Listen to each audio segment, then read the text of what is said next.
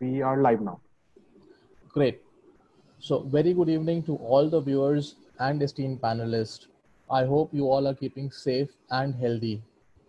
So, today at Think Talks at Amity Online, we'll be talking about forecast of travel and tourism industry for 2021 and beyond.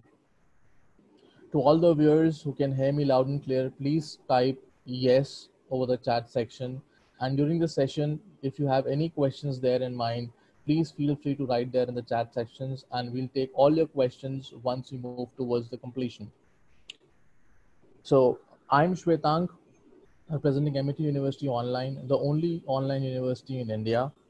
And I'm joined with my esteemed panelists, Mr. Deepak Tuli, who's the Chief Business Officer for Make My Trip, popularly known as MMT. Along with him, we have Mr. Amit Taneja, who is also a chief business officer for the another famous brand, which is Clear Trip, based out of Dubai, and Mr. Harshit Vyas, who's the chief business officer for Oyo, and Mr. Manoj Nair, who's product and market leader with FCM Travels, which is an F, a subsidiary of an Australian brand called FCTG. So, guys, let's call the session open. So Deepak, let's start with you. I would also request Nishank, who has joined us from the backend, who will be sharing the presentation. So Nishank, may I request you to please put up the presentation so we can quickly start the session.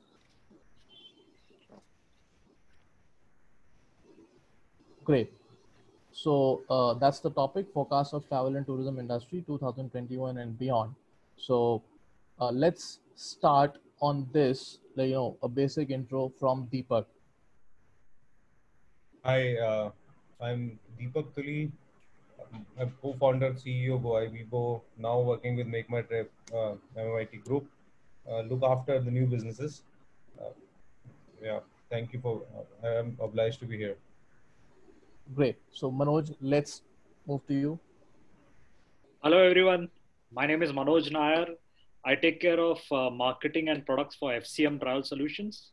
Uh, we are part of Flight Centre Travel Group Australia, and we cover the entire gamut of travel in India, be it corporate travel, leisure travel, foreign exchange, as well as inbound. Thank you. Happy to be here. Great, Mr. Amit. Let's start with you. Hi, good afternoon, everyone. Uh, my name is Amit, and I'm the, uh, the commercial side uh, of the ClearTrip business. Uh, ClearTrip, uh, for those of you who don't know, uh, we're an online travel uh, company. We have operations in India as well as in the seven countries in the Middle East, and I look after the commercial side of the business uh, for both India and Middle East. Uh, happy to be here and uh, look forward to a great session uh, this afternoon. Great. Harshit. Hi guys, Harshit here. Glad to be part of Amity online session again. Uh, I take care of franchisee business for OYO.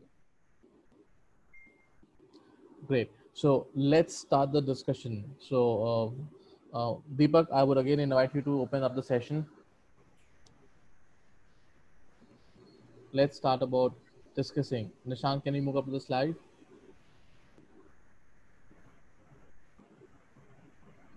So, you know, there have been a significant impact of COVID-19 on the industry. So it's not only about travel and tourism, but broadly, if you talk about the entire world has been, you know, facing a very different situation. Tourism, of course, amounts to nearly 10% India's GDP, supported more than 10 million jobs in India in 2018 and 19. So if you talk about uh, youngsters, they still they still in, uh, you know aspire to be a part of travel and tourism industry. But how? Of course, it's it's you all who are going to let us know and then of course we'll come up to you know the total losses losses definitely would have been there but then yes we are hopeful that we'll be able to cover that up so let's start with the first point. Uh, uh, deepak uh, what do you say? Tourism has played a very important part in indian economy. Exactly. Yeah i think that's uh, one of the most important one of the highest employed sector in the economy growing rapidly. The one of the sectors which has been growing in double digits for last so many years and, and the potential seems to be higher. Every six months to a year you see a new way of people doing uh, different way of uh, travel but uh, things are going in the progressive session uh, there is obviously a little setback because of covid uh, you know things have come to standstill and now gradually picking up. Um, just to give some perspective, uh, about 30 percent odd flights are now operational, uh, which means uh, you know people have started traveling. The things have changed a little. Saying you know uh, it's it's a pent up demand. People going back home.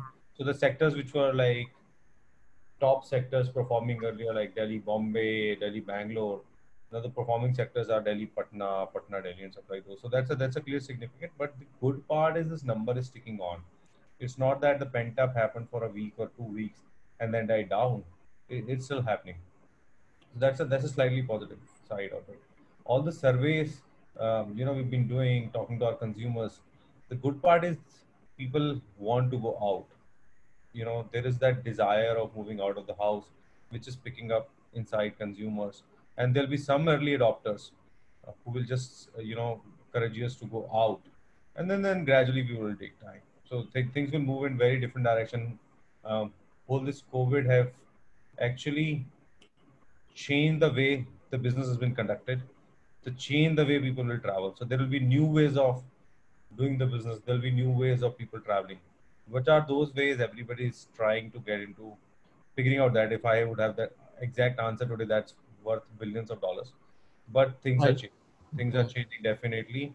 Things will not remain same, especially for travel uh, discretionary leisure expense will be hurt uh, and things will change. So that the, you know that's the current situation. But but things are the consumers are not running away. It's not that it will not happen for next year or so. Those mm. things are not happening. People will move out. When and how will really depends on opening up and maybe uh, vaccine will be the one which will definitely change bring us back to the old numbers. But it's, it's the worst hit sector, one of the worst hit sector actually. Right. So they probably are realigning the priorities that would want to uh, you know put up, and of course they'll change the priorities. They'll fix up how it will be the mode of travel over the need of travel. So uh, Amit, what, what what's your say on that? Um, hi, um, I think uh, you know as sort of Deepak said that you know the COVID has definitely impacted the travel, and obviously travel uh, or tourism has been in the in the forefront of this impact, uh, and um, and this is probably you know uh, in in in the sort of you know the recognized uh, history when the sort of organized travel sort of started to happen maybe in the last hundred years or so. This has probably been the first time where the whole world had come to a to a halt, right? I mean, we've seen the the earlier crises, whether they were, you know, as a result of the war or as a result of the um, sort of the other pandemics in the past, but uh, they were more less localized and i think the only event which probably comes closer to you know which has impacted the world to, to an extent uh, to this extent has been the world war uh, and even though there have been uh, you know if you look at there there about half of the world was pretty much uh, sort of unaffected uh, from there. These were essentially the wars which were fought in the in the europes and and and, and uh, second world war to some extent in the pacific. Um, so yeah uh, and you know the obviously the it is going to take time to recover. I don't think so anybody has any doubt in terms of you know the uh, rebound of the tourism industry, travel and tourism industry, because travel and tourism is, tourism is a very, very essential part of, of uh, uh, you know, our uh, sort of, you know, our, our uh, lifestyle now, as, as, as we all know. But I think there are a couple of fundamental changes this COVID has done, uh, and this is going to uh, not only introduce a new normal, which is in terms of what change how the uh, so the people will travel, uh, you know, post COVID, but also in terms of um, I think it's uh, has shaken the industry. We're going to see a lot of sort of rooting out of uh, uh, of the older business model, the new business models which will emerge. Uh, and I think the reason why this impact will be felt for uh, for the next 18 to 24 months. Um, uh, before we sort of start seeing a normalcy uh, returning and then you know tourism going into the into the its sort of growth path again is because uh, because of this uh, pandemic, there's been going to be a lot of contraction in the supply. We've been hearing, you know, we've sort of started hearing, you know, the airline going out of the business. So they've been increasingly sort of uh, saying the other uh, parts of the the the um, the other parts of this whole uh, travel ecosystem sort of you know moving away from travel and sort of you know looking into some other options some of these hotel uh, you know looking at the alternate uh, usage of that real estate uh, so yeah, so this uh, pandemic uh, obviously you know has uh, impacted the industry in many many ways. You know some of these are very very visible. Uh, the others we will sort of feel feel them over the next twelve to eighteen months as sort of you know travel industry, travel and tourism industry reboots itself and adapts to the to the new reality. but the good thing is I think we've sort of started seeing the gradual opening up, as Deepak was saying. we are we are able to see the these flights back back in the air uh, and you know hopefully everything being okay we will probably see another four to six weeks gradual opening of the of the international sectors and and uh, hopefully you know uh, as we sort of you know get some positive news on the on the uh, vaccination front i think the the confidence of people will will, will come back. Great so uh, Amit talks about the new business model. So Harshit, who could be best person to you know talk about that the new business model? Because if I uh, if I clearly know that you have been among the first five members of OYO, so do you think it's again a bootstrapping sort of a period going on? Uh, it's a very interesting question, Shwetank. So what it means for businesses today is about uh, not really visiting fundamentals, but about rebuilding on them. For example. Uh, the way a customer searches hotel, the amenities that they look for, what was important three months back versus what is even more important today has changed. So how do you through product uh, give more information uh, of what is important today? Uh, so that has that has become new normal. At the same time, at the hotel, from infrastructure perspective, what are the visible changes that you make? That has changed. From uh, uh, having increase in prepaid booking versus postpaid booking now people need predictability. They don't want to exchange cash. Uh, in terms of uh, government now extending support for online check-ins and uh, getting rid of and registers. In, in terms of now even our property managers at hotels being more adaptive for technology.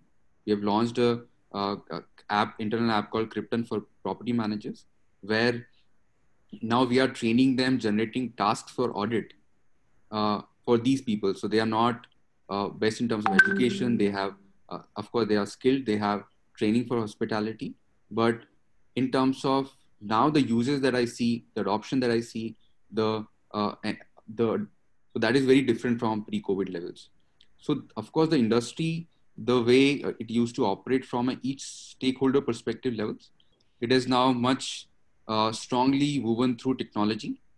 And but as a human race we are very agile. So i see that agility i see that strength that every stakeholder is showing. But like all of us are saying uh, uh, it's there is there is light at the end of the tunnel. And of course this will be a tough path. This will be a slower growth.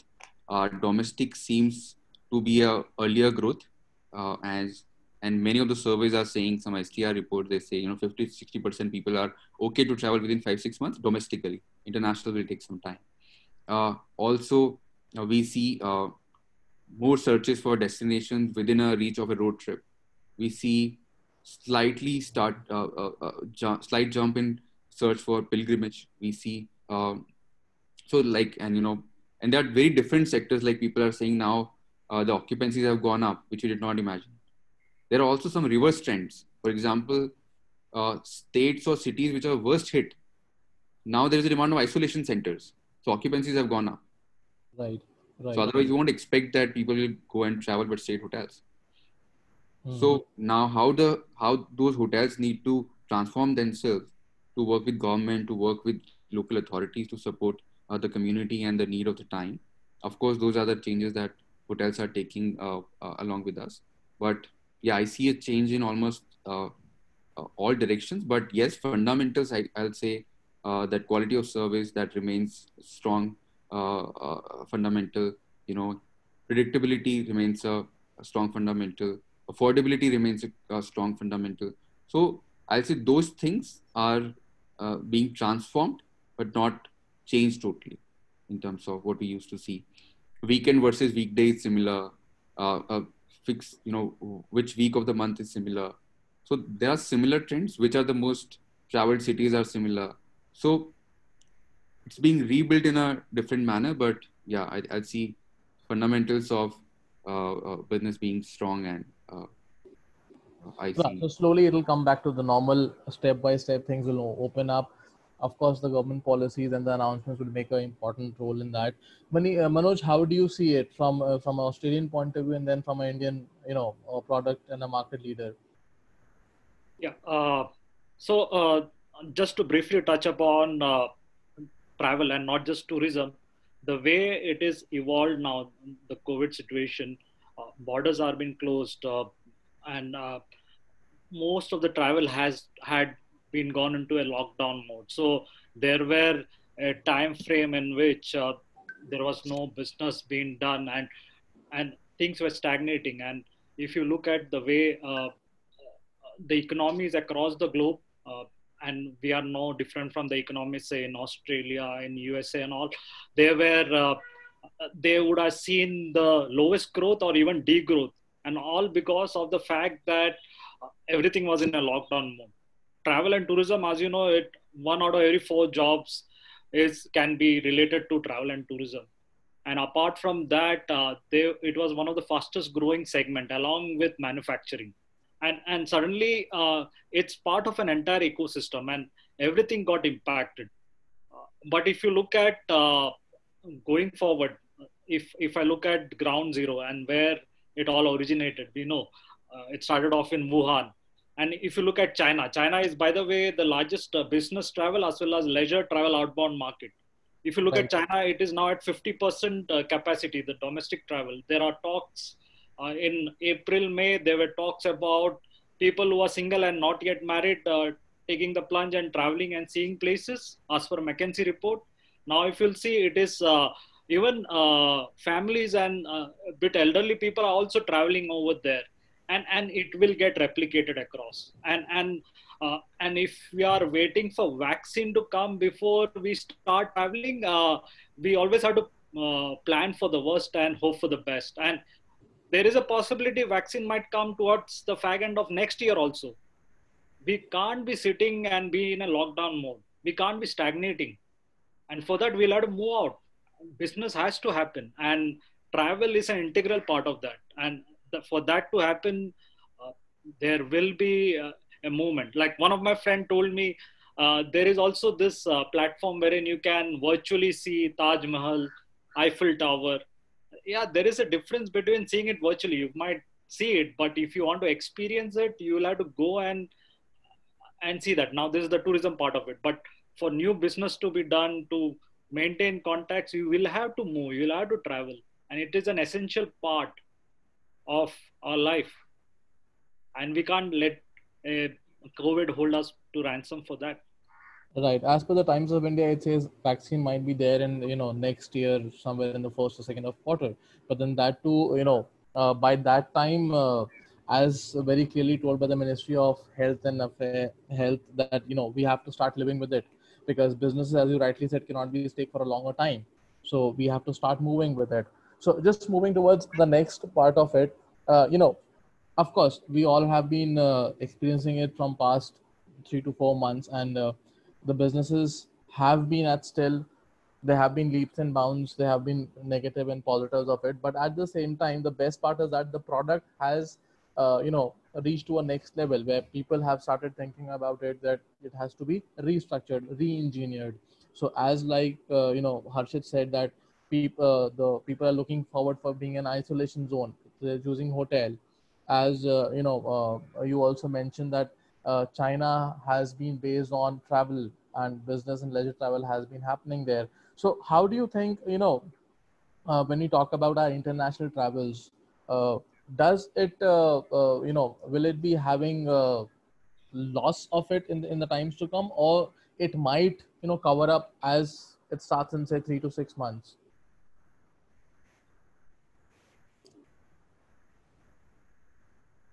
So Manish, uh, Manoj, let's start with that. Yeah, so uh, the rules are getting framed. They are talking about like safe air corridors from say uh, Dubai, which Emirates is planning to Europe. Right now, the borders are sealed and people are gradually planning. When I say people, governments are planning to open it up. at the same time they are worried about how it will play out uh, and there is also the question of uh, uh, actually whether you will when you go and travel whether you will be quarantined and these are big questions.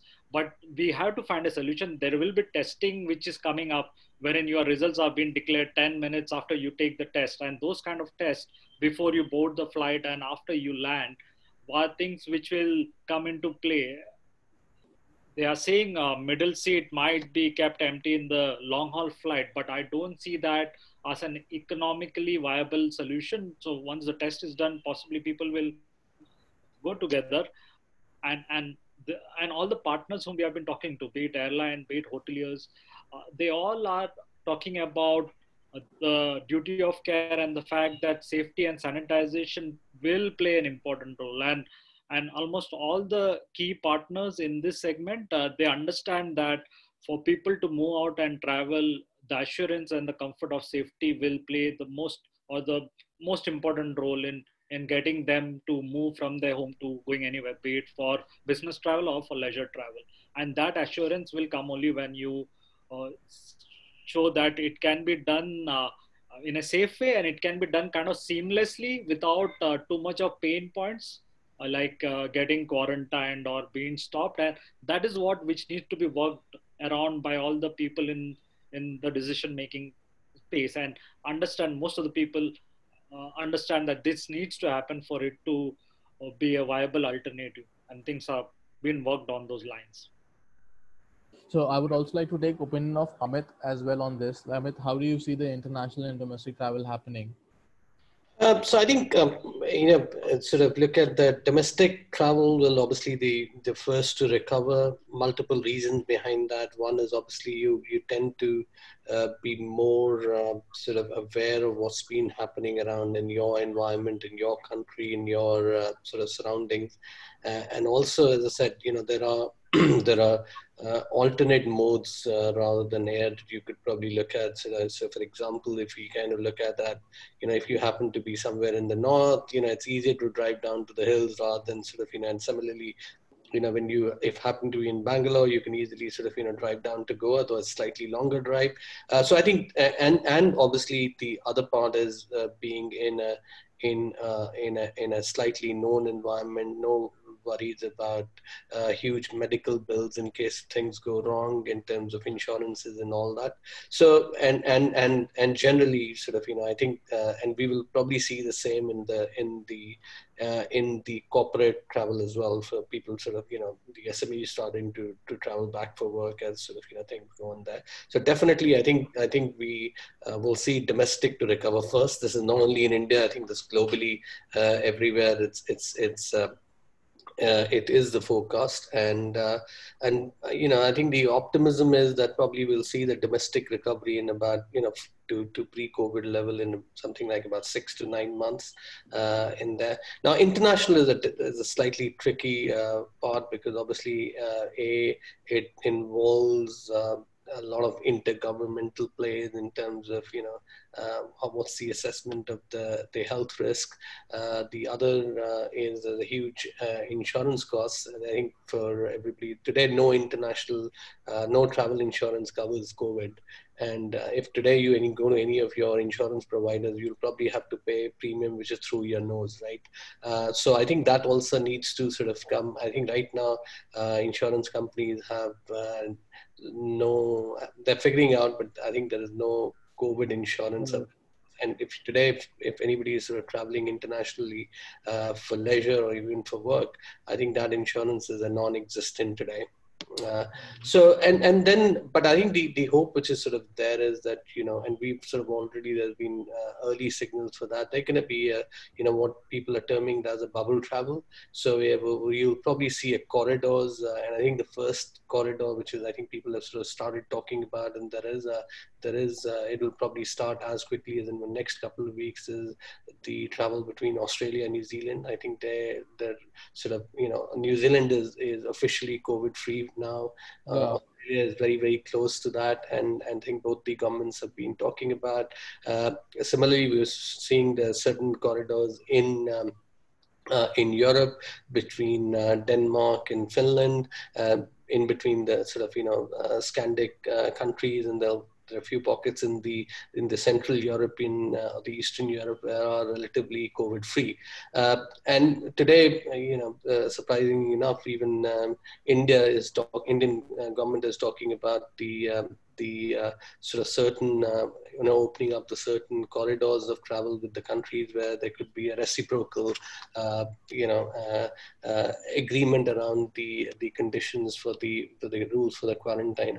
But generally, as I said, you know, the the international will take a much longer to recover. There's going to be a lot of apprehension in terms of, you know, a lot, lot more certainties, uncertainties in terms of, uh, you know, what what can happen, what can go wrong and uh, but I think uh, the the important part is that there are uh, today uh, tourism is a very very integral part of of the world economy. There are uh, there are millions and millions of jobs. there are millions. There are multiple economies which today are uh, running on, on tourism you know where I'm based, Dubai today. Dubai uh, economy is pretty much uh, based on tourism.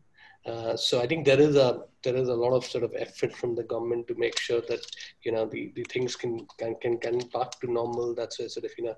Uh, so there is a lot of effort which is sort of you know globally uh, we're going to see over the next uh, you know couple of months for, for to ensure that there is a uh, to ensure the people it's safe to travel and also sort of creating the necessary protocols to to give confidence to the people that it is safe to to to travel again so yeah, uh, but tourism, international travel will take a longer to recover. Uh, but I think yeah, domestic is just a matter of you know people getting a confidence back, and and you know as and when um, you know we start to sort of seeing a little bit more uh, you know control on the ground in terms of uh, uh, of the COVID and, and obviously any any news in terms of the the the vaccination, uh, I think it's it's going to just add uh, accelerate the, the the confidence on that. Great. So Deepak, uh, what's your point on that? As we have just missed the vacation season, and you know, will we able to catch the next vacation season? Because I remember last year May, if we were traveling about, you know, thinking even about traveling to somewhere, it was a huge rush as the visa centers. Uh, I actually agree with both uh, what Amit um, and Manoj said. And that's what all the all the data is also saying. Three to six months international i i think it's you're really really too optimistic about uh, thinking about that. I think it will take much much much longer than that for international to even just start. Uh, right. Uh, but domestic i think yeah there, there is opportunity out here moving all that international spends into domestic. Uh, the good part uh, with our economy is that our domestic consumption is enough for companies to survive. We have enough demand. We have enough amount of people traveling around. Uh, the market is huge. Uh, the advantage of player like us would be things moving online. So if you ask me, literally, the players who are actually offline will suffer even more because people now will. So the, whatever the deficit of economic impact uh, on the domestic will be compensated through this movement of offline to online.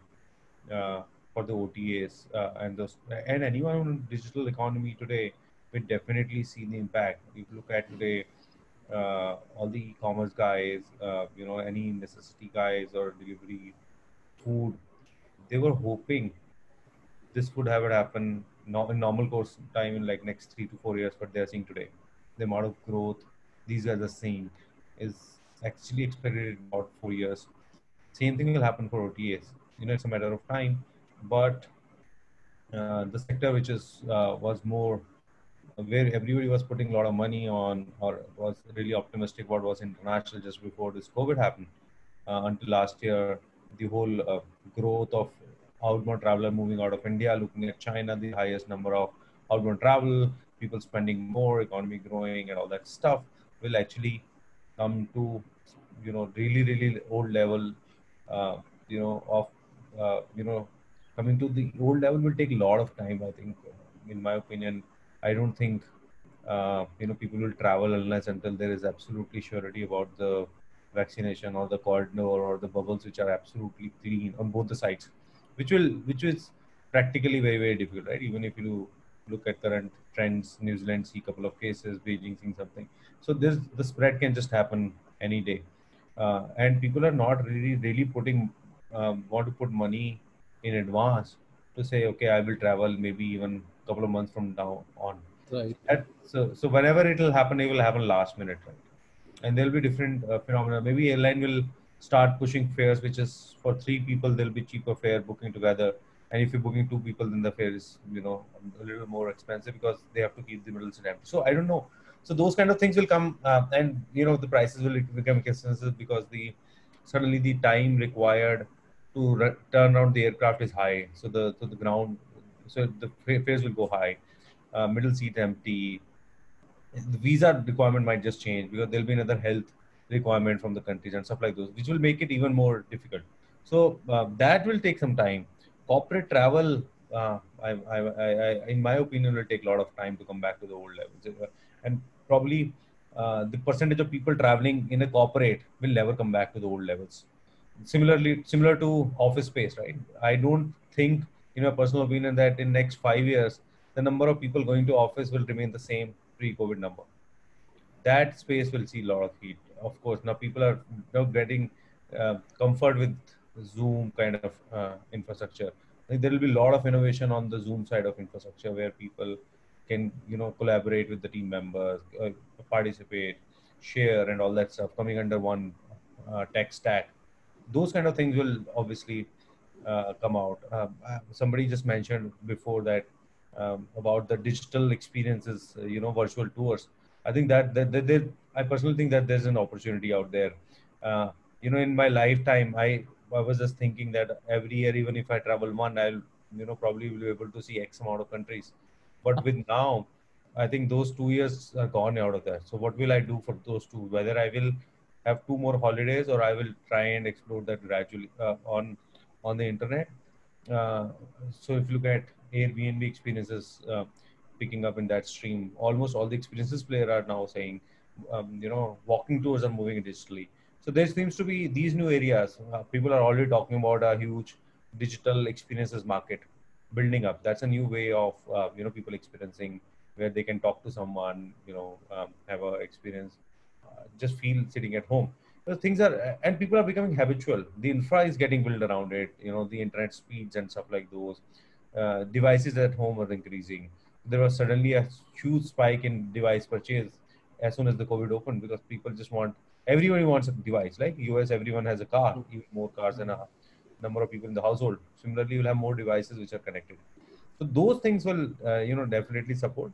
Uh, and domestic travel, as everyone is saying, will definitely start soon. So three to six months of domestic travel, um, seeing a significant amount of uh, traffic seems really really possible but you know one people are sick and tired of sitting at home people want to go out the second uh, would be you know you can still uh, mitigate some risk traveling domestically you know you can go to a nice uh, villa around or a or an apartment around and just hanging around there like like you know people have started meeting around in small bubbles people are not exposed getting exposed to the large audiences uh, but where there are known people, small gatherings, I think that, that, that will start picking up. So individual travel, drivable distances, things like those will start picking up.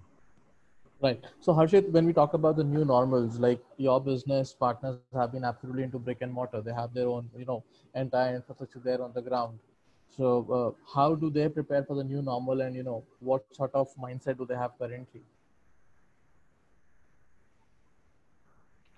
quite dynamic to be honest. You know, it depends on state, it depends on different areas, and it also depends on whether you're an owner, whether you are a lessee. Uh, so it's quite dynamic. You know, we are also uh, as we move on, we are understanding that uh, how our partners are reacting as the new announcements come, how the new changes come. But uh, few things I want to share that I have seen uh, the most courageous and uh, stories of strength from our partners.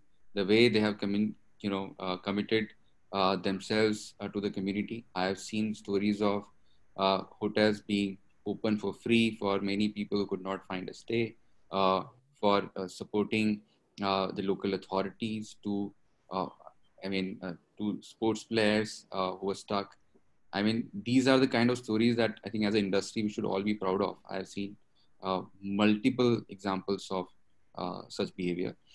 But that aside, uh, most of them are uh, adjusting to new reality. You know, so for example, now we have started our modules for partners on how they can operate with lesser staff. So the same hotel who could run with five hotels now can how can it be run by three people? Because now other two are not available. A lot of people have migrated with more automation, with more uh, technology adoption, how uh, uh, how can there be a cleaning schedule which can be uh, uh, you know through technology uh, get more adoption by housekeeping people.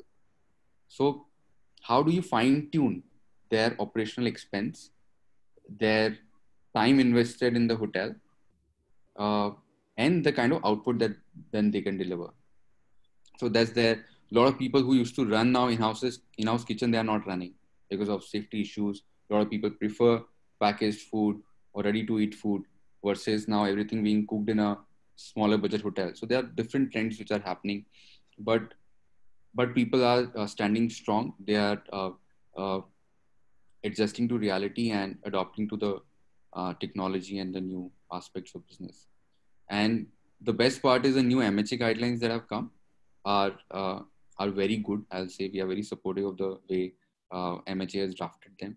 Uh, for starting from a a must-have mask to the customer or guest who is traveling to the hotel, to having a sanitizer there, to having a thermal gun at the hotel reception, everything has been very carefully drafted. So making sure how through technology we drive adoption of this.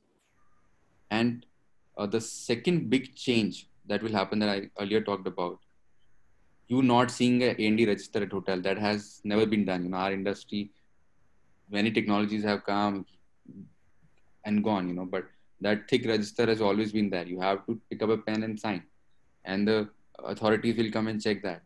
So that is going away. The government has already given a go ahead, and uh, we are developing a technology now that how uh, can that be digitalized to multiple apps. Okay. So smoothly checking into a hotel with almost no touch or minimal touch uh, is where our partners and us are investing a lot of time. Great. So uh, we have few questions. Uh, like the one question is like if someone would have been looking forward to make his debut in uh, you know in um, entrepreneur business into travel industry. So does he sees a scope here, or it's time for him to hold it back? So I will ask uh, this from everyone, but it started from uh, you know Deepak because he uh, has fair enough you know hands-on experience, and then of course we'll come to uh.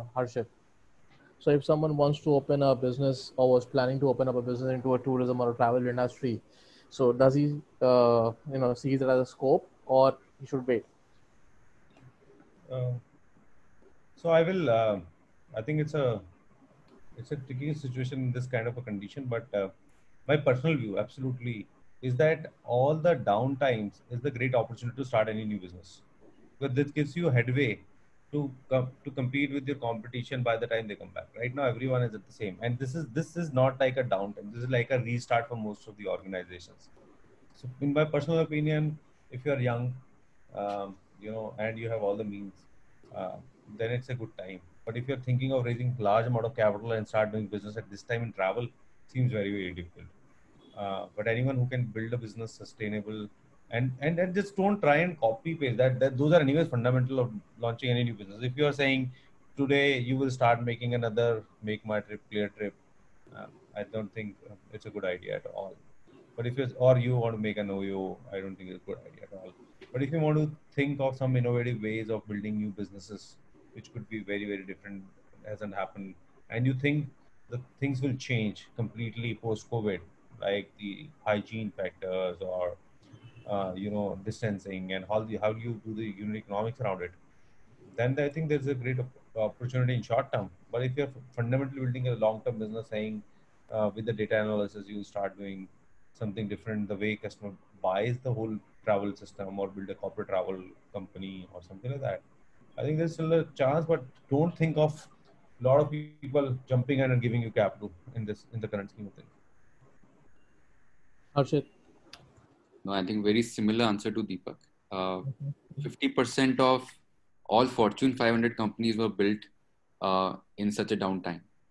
Mhm. There are almost 17 unicorns in the world who were built in a, uh, a downtime or recession time. So uh, Deepak was absolutely bang on. You know, so th- these are the kind of opportunities that people cash on. But you have to be really innovative. You have to be different. You have to place yourself in a manner that you innovate. Otherwise, you know, there are more powerful businesses which are already existing and struggling.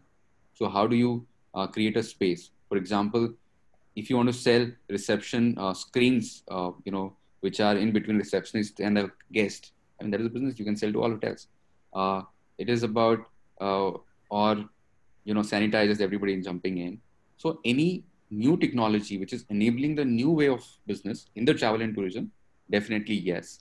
Uh, and if you want to be a brick and mortar business, you want to get a hotel, build a hotel. Of course, then also there are so many variables.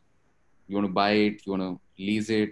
Is there a demand backed uh, supply, or then you want to have supply first, then chase demand? So uh, that's that's a more tricky one.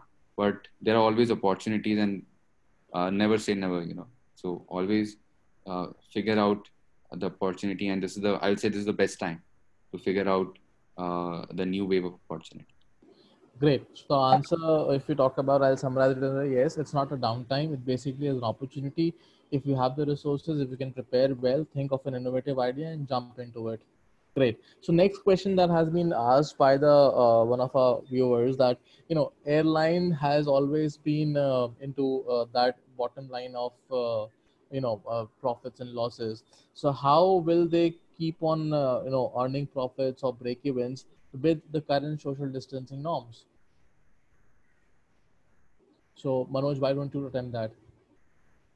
Yeah. So, uh, as part of our engagement with customer, we do this uh, voice of the customer, and uh, we reached out to a lot of our customers, uh, leisure as well as corporate, and uh, we were checking with them once it opens up. Uh, how do you plan to travel? How do you plan to commute? And more than 50, 52% of the customers said ki we are okay with traveling in an airline because they have been reading about various measures and uh, things uh, which have been implemented basis the new normal which will ensure that safety and uh, you know duty of care is taken care of. So uh, so there is a certain amount of uh, uh, comfort and credibility which goes with the airline. At the same time right now we are in a situation where everyone knows that uh, be it leisure travel or business travel uh, the the the economy uh, needs to move on.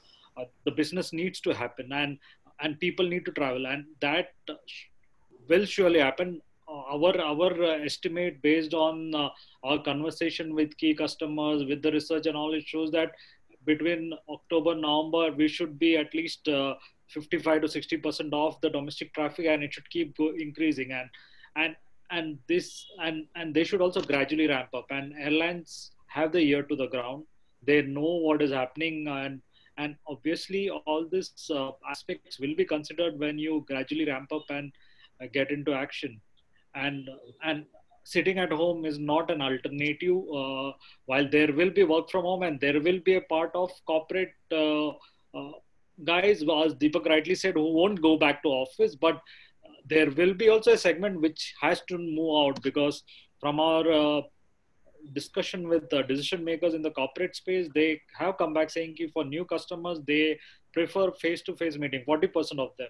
And they need to also maintain the relationship with the old customers also. And same is true for leisure and domestic also wherein uh, increasingly uh, if you take care of the safety part if you uh, have uh, stuff which you take care of in terms of products like wellness and health at the same time not crowded places not group tours but possibly van tours campers for the family if you, if you keep innovating and if you do stuff like that it will help Right. So So, airline- uh, yeah it. airline will benefit from overall movement across so Amit, I would like to have your opinion as well that how will uh, you know maintaining the social distancing and uh, managing the balance sheet also what would be the tool that you think airline companies might devise to?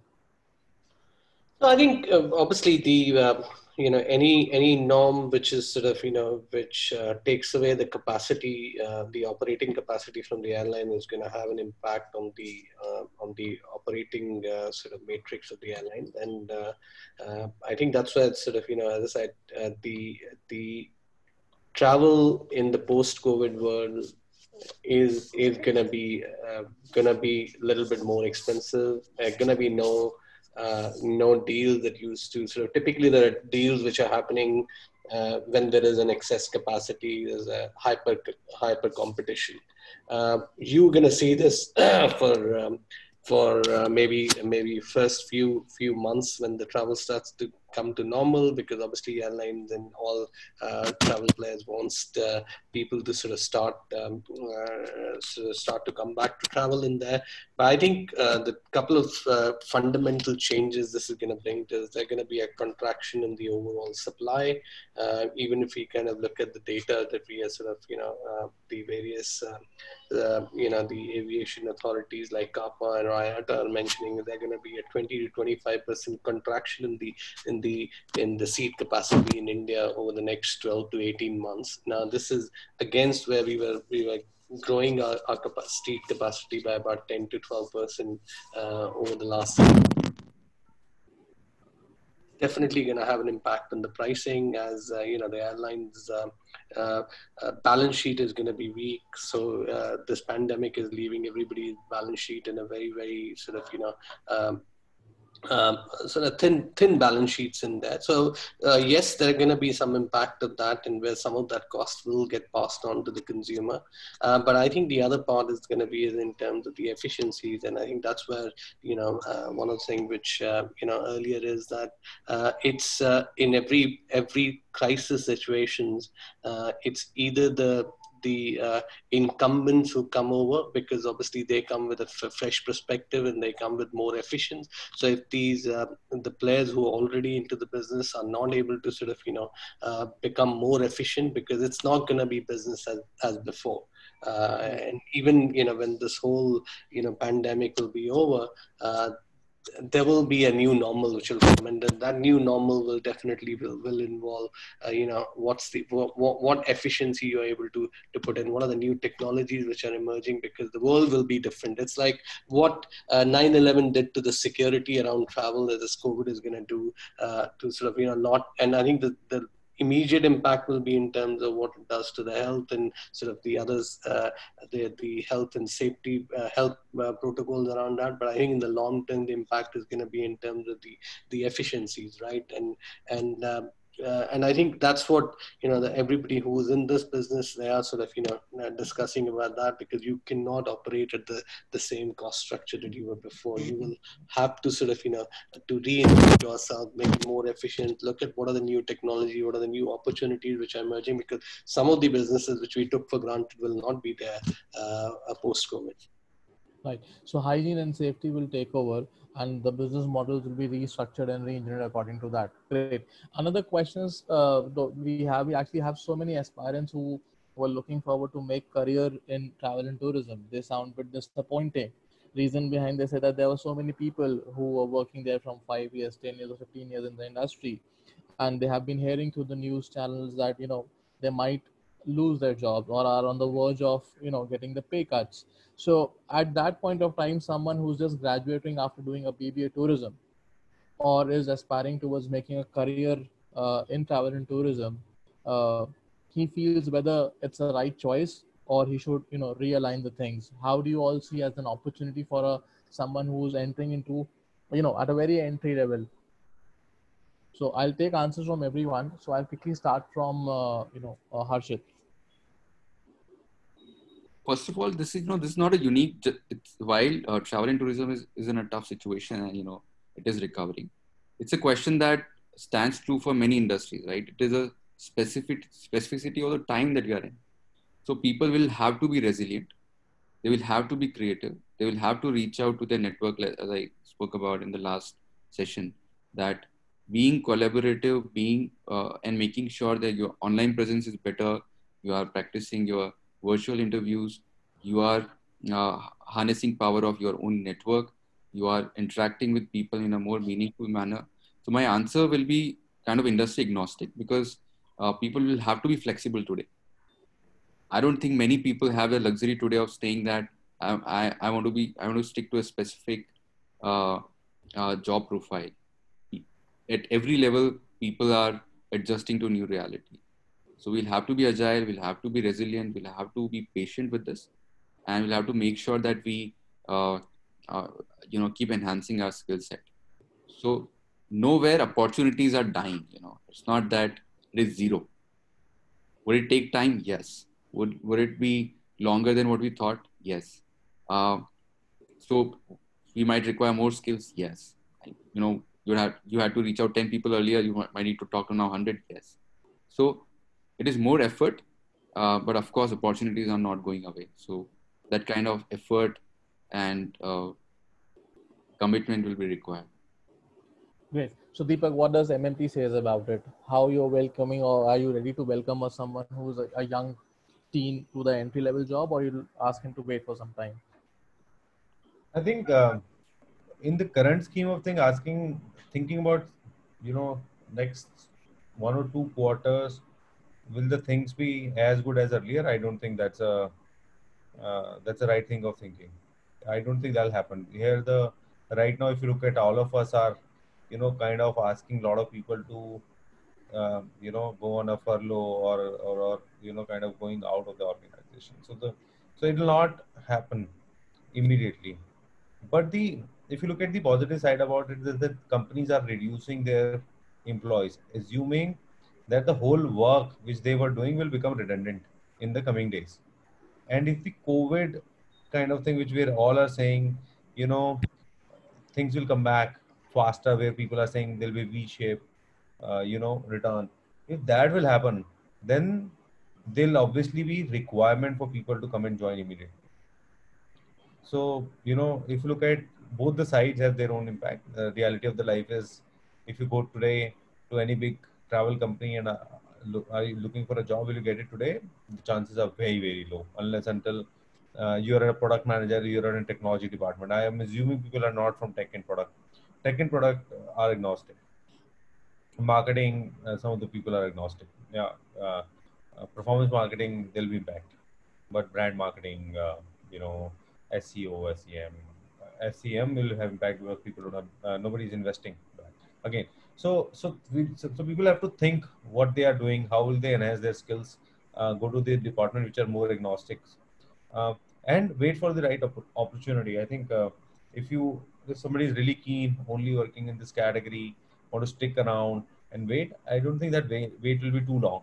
But uh, yeah, the time is as such that if you go today, answer is uh, chances are very very low. Great. Manoj, a quick answer from you. Yeah. So my sympathies to the people who are passing out this year. It's really a tough time. There are a lot of people there out there in the market, and in that scenario, when you have to go and pitch yourself and get into a job, it's it's it's really tough, and you'll have to adapt, reskill, not have great expectations about big payouts and all at this juncture. But having said that, if you look at India growth story, and if you look at the story we have been weaving over a period of time, we have had one of the the fastest uh, corporate travel and leisure travel growth across the globe among the top 15 countries.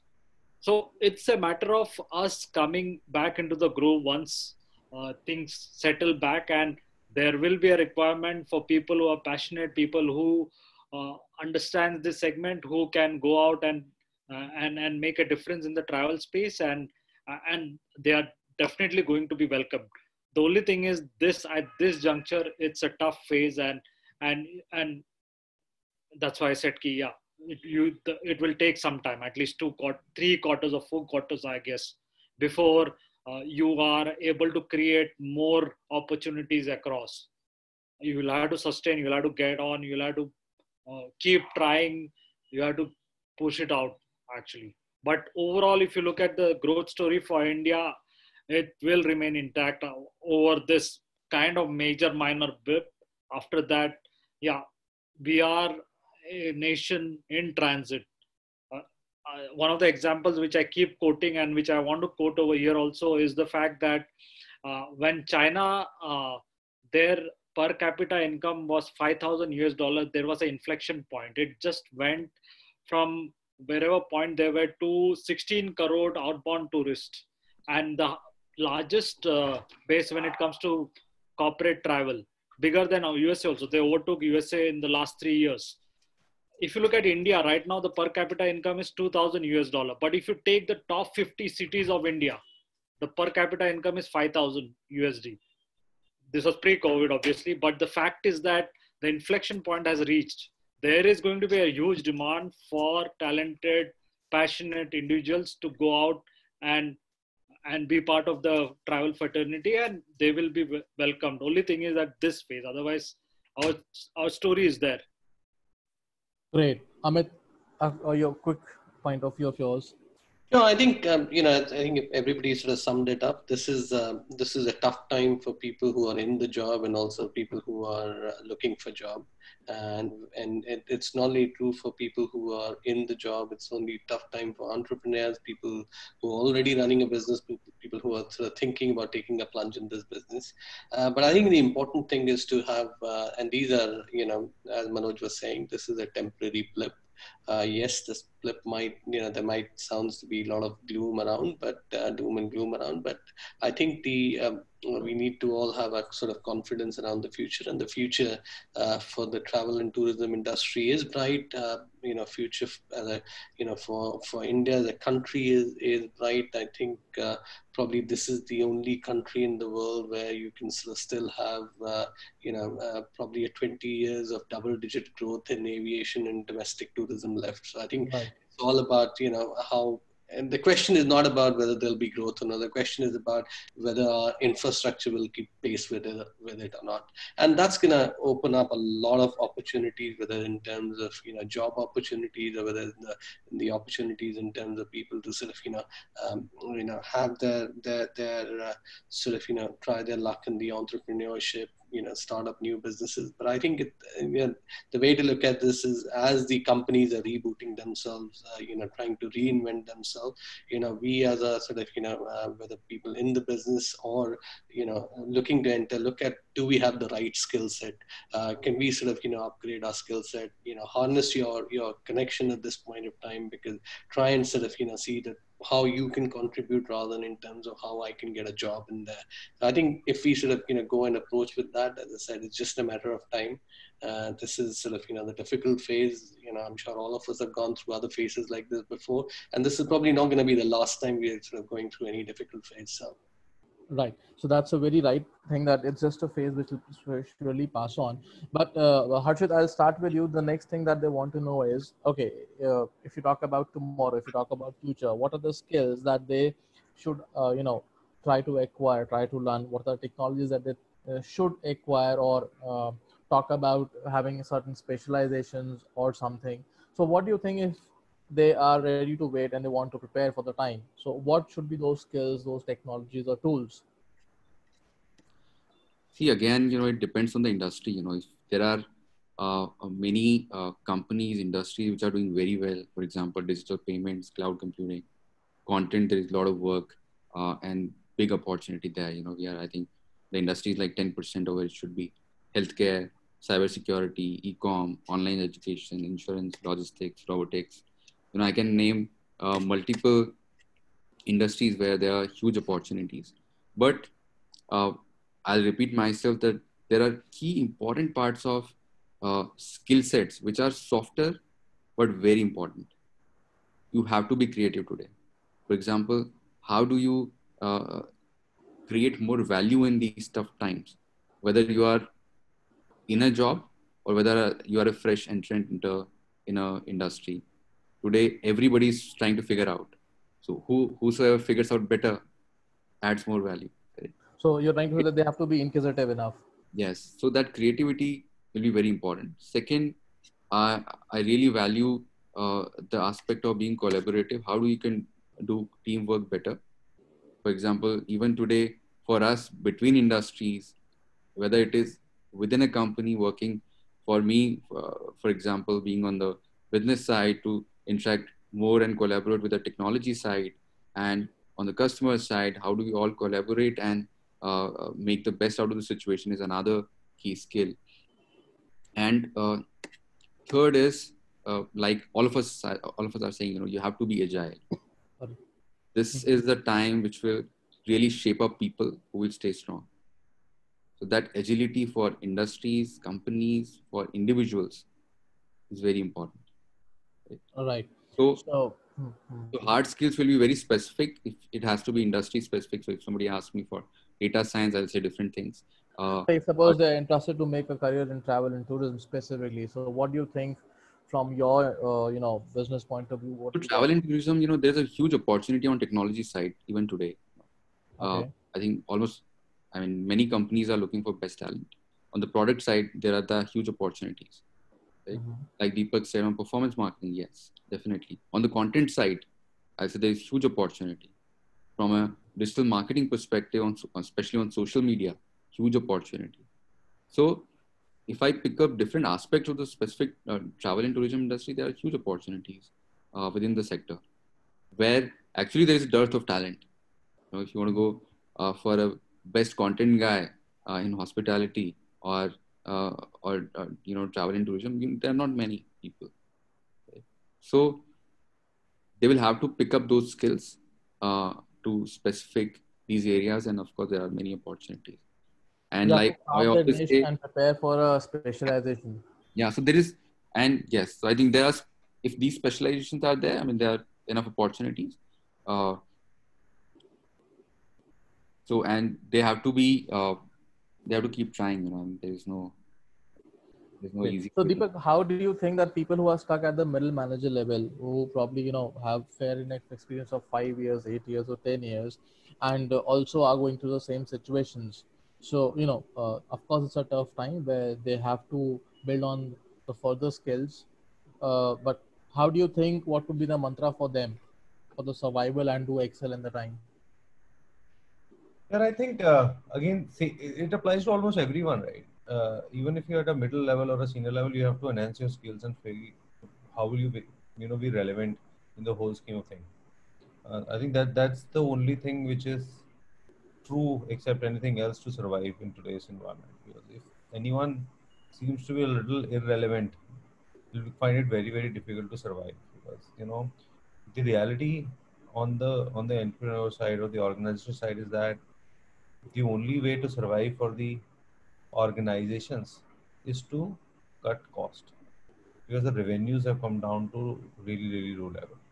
Mm and be ready for future. So, for an example, like companies like us, what will they do in the current scheme of thing, or our large scale company will full will do the projects which were good to have, but makes a lot of difference. So, anyone who's innovative on the consumer side, uh, you know, I see like the customer experiences or customer support side, not just answering the calls or you know managing the um, uh, you know floor on the call, where most of the agents are replying. Mm-hmm. but like an automation on top of what consumers are you know what agents are doing and reduce the cost. So there is a big element of customer service in all our businesses. We spend a lot of money in that area. And that's a that's and that's directly proportional to the amount of business we do you know you keep hiring more and more and more and more resources because your business is growing so if somebody you know really thinks about that as a passion and come out with a innovative solution or the ways to reduce cost there. you know, one is obviously you become like a technology guy or a product guy where you are adding great great value. But beyond that, things like those new innovative ways of you know how can you generate vol- business volume in the current environment, or things which will just you know as soon as the things open up uh, become relevant. So I think those kind of things and keep keep thinking like an entrepreneur that if I would um, you know this is a small business of mine inside the organization how will we I keep it relevant and floating? I think that'll come up with a lot of ideas, and you know you have to you know implement one great idea to just be relevant. Right. So you basically are saying that they have to keep learning, unlearning, and relearning at the same time, keep reinventing themselves, and they have to take a charge as a CEO of their own life, where they have to take an ownership of everything coming in. Absolutely, yeah. That's true for almost. That's true for me as well. Yeah right pretty relevant for each one of us uh, so next question that we have is basically you know uh, what are the positives that has happened in travel and tourism? We have all have been talking about the negatives about COVID, negative about you know the cost cutting, the pink slips issued, and everything. But there would definitely would have been certain positives happening for specifically travel and tourism industry. So let's quickly talk about what have been the tour, you know positives about it. I'll start with Manoj. So I'll talk from my company's perspective, and it has so has a lot to do with, uh, to an extent, focusing on what is going to happen. So our research and all showed that domestic tourism is to grow in a bigger way, and and outbound will be muted for quite some time. So we have a big uh, team, and what we did was that we asked the L&D team, the learning and development team, to train them around products and packages related to domestic holidays and domestic tourism and domestic travel and and a lot of them were actually specialized in outbound and outbound and foreign travel but then they reskilled themselves they re- learned more about uh, domestic destinations and all. And in that sense also it helped them to you know be ready. Like uh, deepak said be future ready is something which is very relevant. And the near future how we manage that is going to be important. The second thing we did was that we knew uh, it's going to take some time before things start coming close to normal. So cash conservation we laid a lot of emphasis. We reached out to our corporate clients ensured that uh, money was there in the bag. And thankfully we work with a lot of people who understand the situation which we all are in and they were also supportive. So it helps. But that conservation is very important. The third thing is uh, speaking to customers, engaging with them, understanding their pain points, their concerns, like the fact that safety is going to be the most important thing, the duty of care part, and how they would prefer going to less crowded place, and all came out of that conversation with customers. And and and while we might not take them to a place, we also en- uh, try to engage with them, ensuring there is some amount of engagement in terms of things they have done earlier, testimonials, might be putting out case studies for corporate customers, stuff like that. So this was some of the stuff which we did uh, as an organization. And there is a saying that don't let a crisis go waste. So we also looked at the way we operate in a normal scenario. Might be uh, we have we have created layers possibly, or we have created a system which is not great to be a efficient uh, mechanism or a efficient uh, travel uh, uh, operator. So we questioned everything and we went right from bottom to top, top to bottom, and and and and relooked at things and the, the way we do business, and it was actually eye opener. And we also took the time to look at what our competition is also doing in a detailed way. So it it helps us to be future ready. Great. So Amit, I'll just come to you. What has been the positive during the COVID time?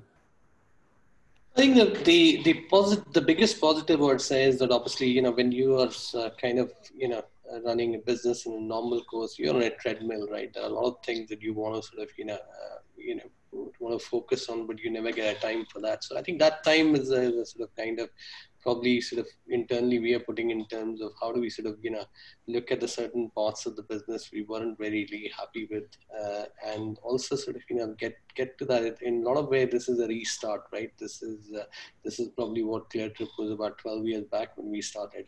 So in terms of how do you basically get the same hunger uh, in with everyone uh, sort of and also sort of you know, look at the certain areas where we needed to sort of beef up. Services is one big part of it mm, because I think we were we all of us were running a digital business, but I think service we were still running it with a with a service of the 60s and the 70s, right?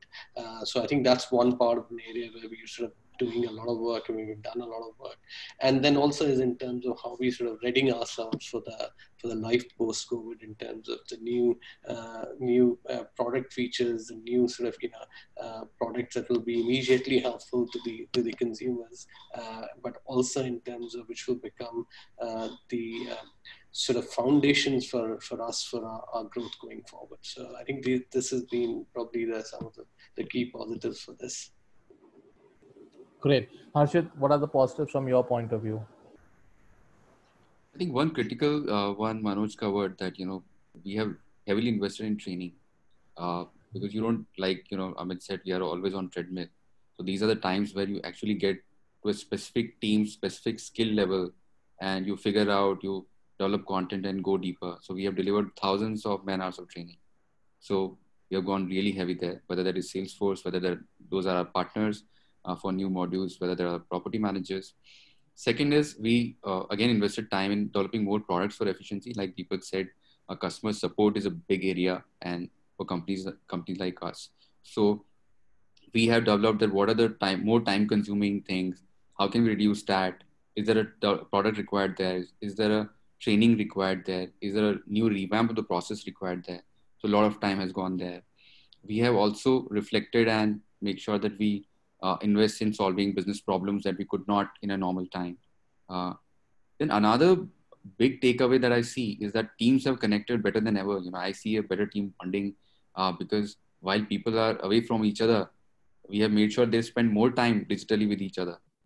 So people have played tambola, people have done yoga classes together, people have done whatnot. But I think as teams, and especially in uh, environment or companies like us, where you have to move really, really fast, the team bonding, the uh, spirit of mission uh, always plays a critical role. So I think we have done even a better job in this time because uh, uh, uh, in connecting to the teams.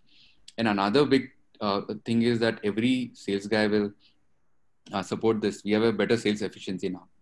The number of meetings that people record, the the cadence that we have set up, that you were that you always struggle. Now those averages are better. Uh, uh, the recording quality is better, pitch quality is better. Uh, so I think that that's a big takeaway. You know, once you move on to normal time, uh, these are the things which will just make your machinery run much faster. So I think these are few takeaways out of many others that I see right. a, a opportunity. But what are the positives from your point of view? I will just add two to whatever everyone said. One is people starting think, thinking little innovative. I think that's a great sign. People who are like just running like day to day, I started little thinking a little more innovative. We we launched food delivery business, whether it works out or not, but people started thinking innovatively how to smartly they can add value and you know kind of do in the new ways. Like we're selling now future travel vouchers which people are buying every day. So people started thinking of the new ways of doing business. And the second, uh, which I'm seeing in the last couple of weeks, is uh, is about people moving to online business. I think that's a that's a that's a only great positive sign. We, it took us a lot of marketing dollars and a lot of uh, effort of years to bring people onto digital buying experiences, which is happening now, with because of uh, uh, now people now actually the habit of buying online or consuming services online has increased. So I think that'll be a great uh, way for us, uh, great advantage for us going uh, in the future. So these two things from my side, yeah. Great. So uh, I, I have one interesting question uh, from one of the audience. He says that um, if uh, he has to invest in a travel and tourism company, so you know what are the uh, you know things to be considered, points to be considered. So I'll uh, just leave it open to the forum. Whoever wants to answer first. I can take that. No, so please. I, uh, uh, so all the investment, whether it's a travel or any other investment, I think every uh, investor need to see the return and the period it will take get that return and the potential. So I don't know how much money, you know, all the stocks in all the travel companies are actually at the lowest.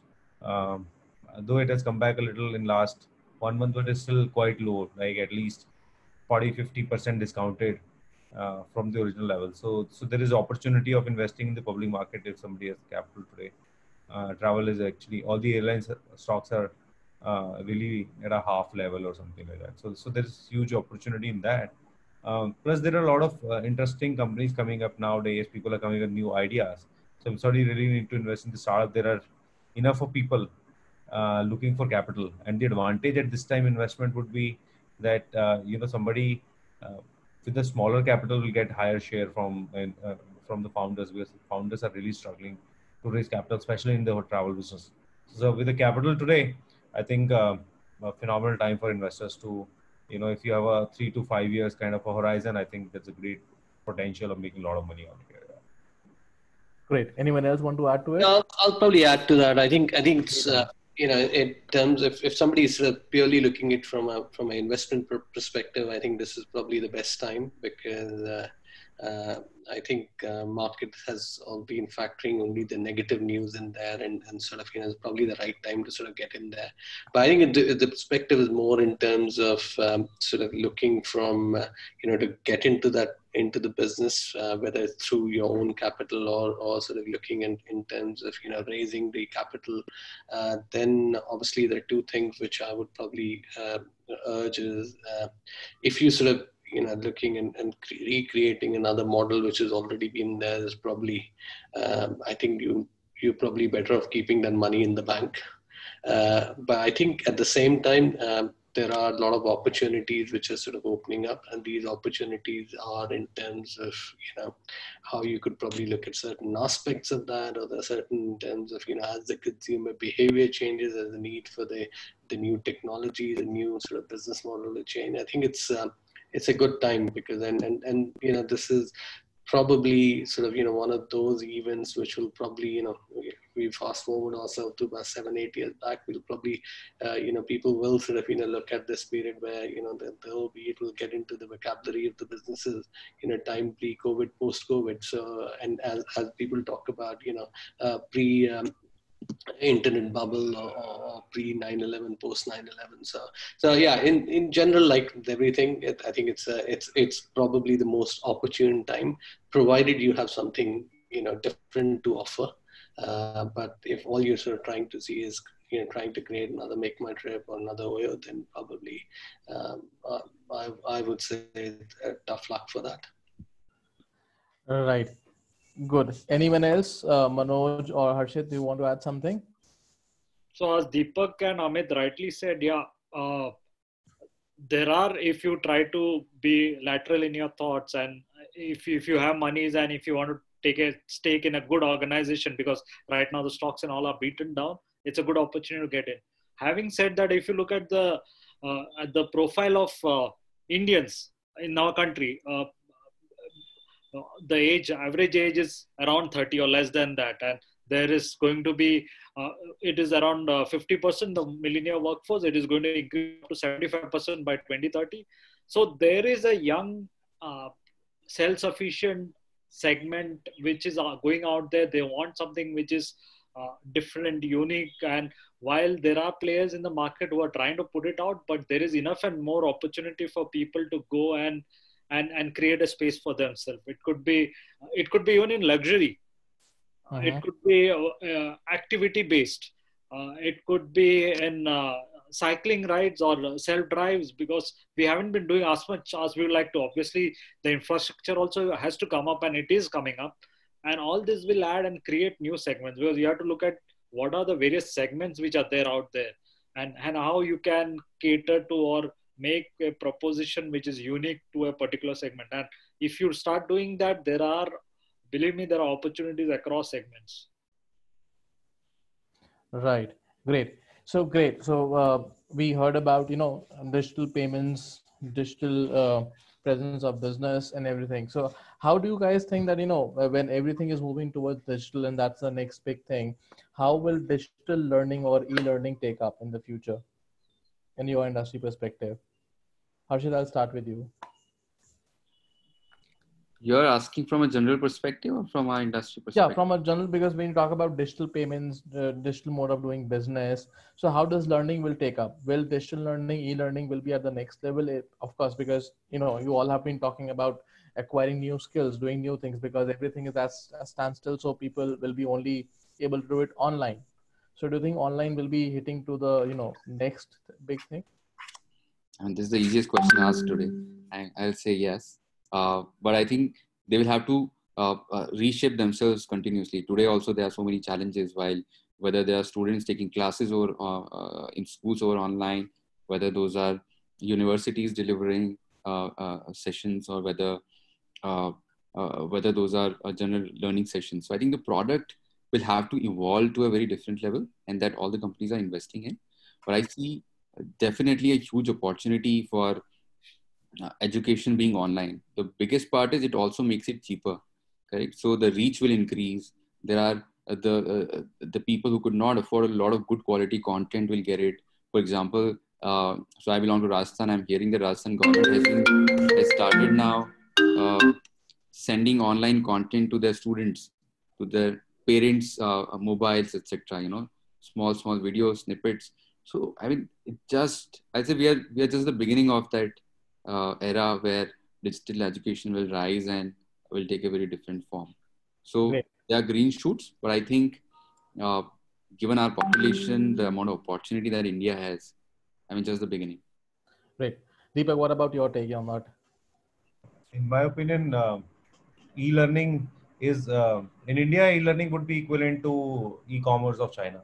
That's a that's the opportunity size. I think okay. it's the right place to kind of uh, kick off.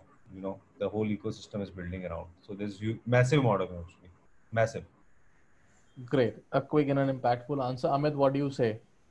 I think I think uh, this is, uh, and I'll sort of you know give you a slightly different perspective on that, and I sort of you know, um, and this is sort of also sort of bringing about the the perspective. You know, I, will give you sort of we're into the of the the school got closed in Dubai in the first week of March, uh, and I have a sort of eight year old son which is in year three, uh, and they sort of you know schools sort of started the online learning. We were a bit, a bit apprehensive about you know increasing screen time, you know, how the kids will cope and all that. And today these guys are into the 13th week of their online learning. Uh, and trust me, if I sort of, you know, speak to my, my son and sort of see whether he finds any difference between, you know, school and all that. I mean, his perspective is that uh, I, I, he he quite likes it. The only part he misses that obviously there's been you know uh, spending time with his friends and all that, and and you know these guys have taken on to the the, the the uh, the Zoom and the and the Google Meets to sort of you know make for that. And I think as life come back to normal, where these guys are able to sort of go out in the playground and play, I think these this is something which sort of you know is quite normal, right? And and, and they sort of you know, and that's also sort of you know like for us, it's it's a slightly difficult to sort of comprehend because obviously you know we we sort of you know when we we are growing up, going to the school was was that was the only way of learning, right? Uh, and you know, as, when we kind of look at that in terms of you know the young population that we have in India, um, and also sort of you know as the reach increases and and the the the stage that where we are right where we have very few good universities you know obviously you know physical infrastructure is is a is a big big constraint. And i think that's what sort of you know uh, the the online e-learning does is in terms of as long as you have a content and and and sort of you can you can reach out to the thanks to sort of the the evolving um, uh, mobile and, and uh, internet infrastructure right? Today sort of you know delivering of the content is a, is a less of a problem. Maybe five years or seven years or ten years back would have been a problem. And i think deepak will probably remember the days and especially when you know i went into the early online in 2004-5 our biggest worry used to be about okay how do you make sure your you know your your homepage size is is uh, is as light as possible? Because you know you could not have, uh, you know, the, the, it will, otherwise it'll take about 10 or 15 seconds to load itself. Uh, you know, these challenges on the infrastructure are gone away. And, you know, and there are examples like the Byju's, right? I mean, today Byju's is, is, is worth about, you know, close to $10 billion. And I think that's, you know, that opportunity hasn't been sort of you know I think this is probably COVID has been a you know a kickstart to what you know a lot of people would call uh, the digital payments was the the the demonetization was the digital uh, you know the payment ecosystem in there. But I think that's it's it's here to stay. Uh, I think it it's in a country like India it addresses a lot of infrastructure gaps that we have. Uh, and also sort of you know it it sort of you know uh, opens up a lot of uh, opportunities for people who always wanted to reskill themselves, learn new skills, but never had time to go in there. Uh, so yeah, and that that will also sort of you know it'll make it more affordable, more accessible, uh, and at the same time, you know that will that will divide the bridge that you know people call it between India and Bharat and whatever name you call it, right? Uh, so I think that's probably a, a, one of the big positives for for these things that you know for new new models will emerge in that in terms of you know delivering for that content. Uh, uh, uh, and uh, and generally I think that's probably that I think that we you will see a lot of private investment coming into this uh, besides the government uh, you know initiatives and investments into this field. Great. Manoj i'll quickly take your point on that. Yeah so i guess the panel has covered it. Tech is a great enabler. E-learning is here to stay it you can reach out and speak to professors and interact with them uh, which wouldn't have been possible if they are based out of London or Melbourne. And I've also taken a few courses wherein the professor was not in the country, but you get to interact with them and take learning. Uh, my only uh, caveat over here is we have to be mindful also about the age and the people who are getting this education. It can't be one size fits all. My daughter, again, she's very small. Uh, as uh, uh, the same age as Amit's uh, son, and and and she is having difficulty having sustained sustenance uh, in digital learning beyond a particular time. And it's true for most of the kids. And i think karnataka and also maharashtra government and all are bringing restrictions wherein it can't be beyond a certain time for a for kids uh, till a certain age. As you become more uh, committed to sitting and learning it is okay. But till a certain age might be sitting in front of the laptop or screen and trying to just take it's better than not doing possibly but then that's not the way i would like to let my daughter have the education. I would like to take her to school. Great. So i would like to you know conclude on the point that uh, you know industry definitely might have been on still but it is continuously looking forward for the multi dimensional people, people who will be multi, uh, uh, you know, talented, multitasking. At the same time, new skills has to be acquired. Innovations have to be thought about, and uh, it's just a phase which will definitely, you know, pass on. And it's time to prepare well so that we can, uh, you know, uh, cover up the losses and you know reach the destinations which will be you know the goals that we decided to reach by 2021 and beyond as well so I would also like to thank you all uh, in terms of sharing your, you know, point of views, your knowledge, and uh, your thought processes with us.